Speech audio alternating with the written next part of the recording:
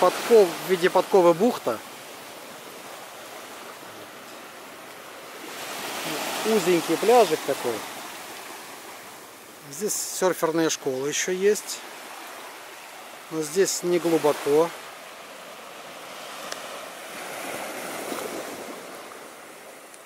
Есть даже лежаки с зонтиками. Много серферных досок в аренду дается здесь. Школы серфинга.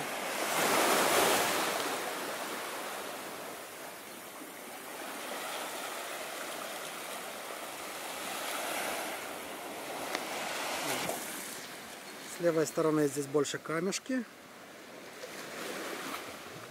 А справа в основном купательное место. Водичка прозрачная.